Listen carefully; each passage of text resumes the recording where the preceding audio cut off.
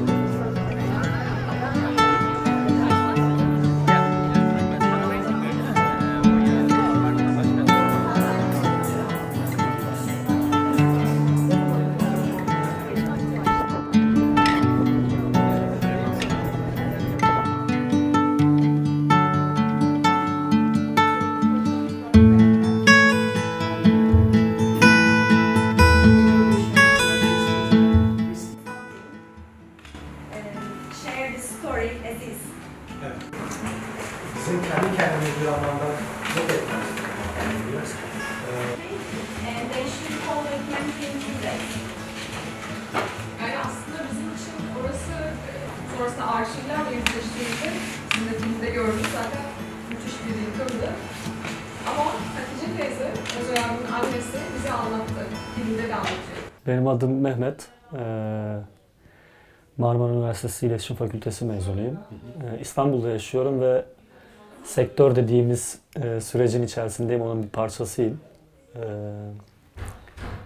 son yıllarda e, ekolojik süreçlerin yani iklim krizlerinin özellikle artık e, çok fazla had safhaya çıktığı bir evrede olduğumuzu fark ettiğim anda ben ne yapabilirim dedim ve e, su filmleri serisi yapmak için bir yola koyuldum.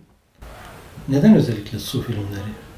Ee, ya aslında bunun kökeni çok e, biraz geçmişe dayanıyor diyebilirim. Aslında çok geçmişte değil aslında ama İstanbul'a ilk göç ettiğimizde e, Küçükçekmece Gölü'nün kenarında bir yere taşınmıştık ve hala hazırda kendi doğduğum coğrafyadaki bir suyla bir araya gelememiştim normalde. Ama Küçükçekmece Gölü'nün kenarına geldiğimde e, oranın eskiden yüzülebilir bir yer olduğunu ve etrafındaki o küçük e, deniz taşlarının etkisinde kaldığımı hissettim.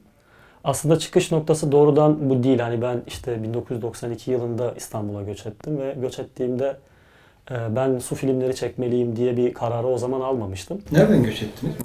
Cizre'den. Cizre, Cizrelisiniz. Hı hı, Şırnak Cizre. Munzur neden peki? Yani? Neden Munzur'u tercih ettiniz?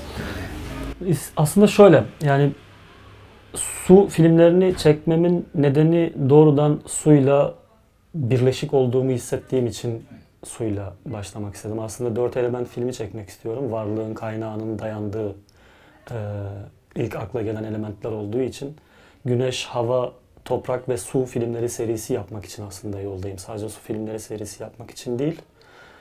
Bu e, süreçte de Munzur'la ilgili e, Munzur'un birinci film olmasıyla ilgili e, şundan kaynaklanıyor. Google'da bir Munzur efsanesiyle ilgili bir e, yazı okudum ve bu yazının e, Munzur'la ya da işte Dersim yereliyle uzaktan yakından ilgisinin olmayacağını hissettiğim bir hikaye olduğu için bunu yerelde incelemek istedim aslında. E, hali hazırda zaten su filmleri yapmak için bir düşünceye evrilmiş durumdaydım. Munzur'un yani Munzur'un bu süreçte ilk film olması benim için e, keyifli ve güzel hissettirdi aynı zamanda. Çünkü e, hem Munzur'la bir özdeşim kurma hem de Munzur Nehri'ni anlamak hem de Dersim'in Ovacık yerelini e, daha derinden hissetmemi sağlamış oldu. E, onun için Munzur şu an benim için özel bir konumda yer alıyor ilk etapta. Tabii ki süreçte farklı deneyimler olacaktır bu kesin. Belki çok farklı şeyler de düşünmeye başlayacağım ama ilk etapta Munzur, sonrasında Dicle, sonrasında da Fırat Evet. nehirlerini çekip su filmleri serisini tamamlamak istiyorum. Bir de kızılırmağı çekseniz bizim tarafa gelsin. Belki o da olabilir. Munzur filmini izlerken e, o efsane, Munzur efsanesini birçok e, ağızdan e, anlattırmışsınız. Farklı anlatımlar da var. O mekanları çekmişsiniz. Gerçekten o coğrafyadaki insanlar için hani kutsal olarak e, Evet. tanımladıkları yerler. Hala işte o, o ritüellerinden bahsettiler. Ama e, yani benim e, sizin belgeselin en beğendiğim yönlerinden birisi de o görüntülerin çok güzeldi. Çok çekimler çok güzel, kadraj çok güzel, ışık çok iyi. Görüntülerle ilgili de şöyle bir şey paylaşayım. Ee, beğendiğinizi söylediniz. Çok teşekkür ederim bu arada.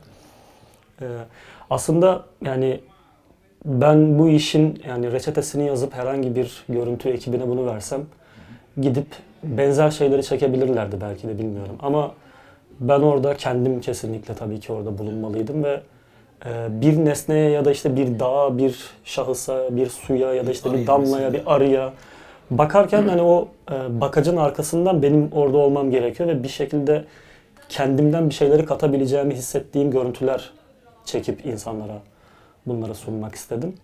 Sonuçta yaptığınız şey e, her ne kadar bir belge de olsa, her ne kadar kendiniz için çekseniz de bunu insanlara sunmak istediğinde, istediğinizde bunun beğenilmesini istersiniz. Bu hani biraz belki egoist bir yaklaşım olacaktır ama Normaldir. bu çok normal bir şeydir. Yani sonuçta ne bileyim sosyal medyada bir fotoğraf paylaştığımızda bile bunun birileri tarafından beğenilmesini isteriz. Ee, Sizin de bu şekilde beğenmeniz, takdir etmeniz benim de çok hoşuma gitti. Teşekkür ederim. Bu. Bir de şunu sorayım. Yani şimdi ben de dönem dönem dersime giderim. Munzur'a birkaç kere gitmiştim. Bu Gözeleri vesaire. Yani bu yazın da Dersim Kitap Fuarı'na gitmiştim. O gözelere gitme şeyim de oldu. Halvorik gözelerine. Bu Ovacık gözeleri değil de. Hı hı.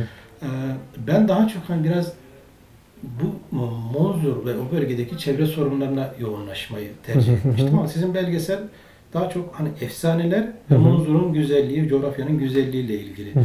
Ee, yani o Monzur'un çevre sorunlarına dair e, belgeselde bir şey, e, herhangi bir e, değinmenizin olmaması tercih herhalde. Aslında evet tercih çünkü burada mm, bizim doğrudan bir sorunu konuşmaktan ziyade çözüme odaklı olmamız gerekiyor ve işte Munzur Nehri evet biliyoruz bir şekilde kirletilmeye çalışılıyor ya da tahrip edilmeye çalışılıyor. Aslında almış olduğum röportajların arasında bir tane Munzur'un kirlenmesiyle ilgili daha doğrusu lağımların akıtılmasıyla ilgili bir süreçten bahseden bir balıkçı arkadaş vardı ya filmde görmüşsünüzdür Zeynel abi. E, o biraz değindi aslında ama e, açıkçası e, su zaten hani siyasileştirilmiş durumda ya artık hani bir krize dönüşmüş durumda artık su bir ciddi bir sorun yani. E, belki farklı bir projenin konusu olabilecek, e, ayrı bir proje olarak düşünülebilecek bir süreç bence bu. Onun için burada yani eğer Munzur'la beraber bu tarz bir konuya değinmek isteseydim mecburen yelpaze biraz daha genişleyecekti ve farklı bir yere kanalize olmak zorunda kalacaktım bu durumda. Bu, bu durumda da şeyden olacaktım. Munzur'un kendi hikayesinden ve Munzur'un kendi varlığından olacaktım yani. Ee, Munzur nehri tükendiğinde, kuruduğunda oradaki yaşayan insanlar ya hayvanlarını önce satacaklar ee, bir süre daha yaşayabilmek için. Sonrasında kesinlikle zaten topraklarından olmuş olacaklar çünkü sulayamayacaklar onu. Orayı terk etmek zorunda kalacaklar ve beraberlerinde büyüttükleri o Munzur'a dair büyütmüş oldukları o efsane de yitip gidecek suyun tükenmesiyle beraber.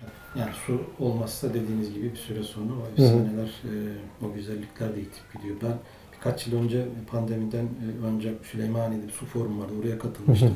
işte dediğiniz gibi o coğrafyadan birçok insan hatta e, dünyanın farklı coğrafyalarından insanlar da gelmişti ve suyun e, bir silah olarak kullanılması, komşuya karşı farklı yönlerle kullanılması birçok konu ele alındı. E, o anlamda da hani Dicle'nin, Fırat'ın e, önüne barajların konulması, farklı e, türlerden kullanılması meselesi de ciddi, çok ciddi bir sorun. E, zaten Hasan Keyf'in yani bu halde getirilmesi, yok edilmesi yani bizim çağımızın en büyük utançlarından, Müthiş talanlardan bir tanesi. utançlarından birisi. Hakikaten yani çocuklarımıza nasıl anlatacağız bilemiyoruz artık.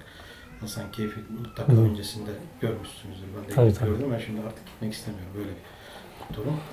Ee, ben çok teşekkür ederim. Ben de çok teşekkür ederim. sağlık.